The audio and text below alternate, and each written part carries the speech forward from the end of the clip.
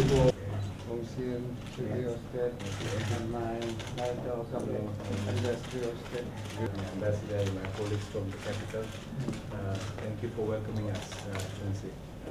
But now the weather is becoming warmer.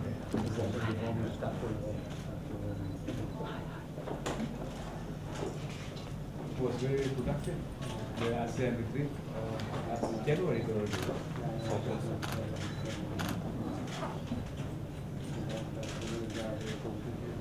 Thank you. I hope Excellency, uh, after our meeting today, we can discuss a number of bilateral issues,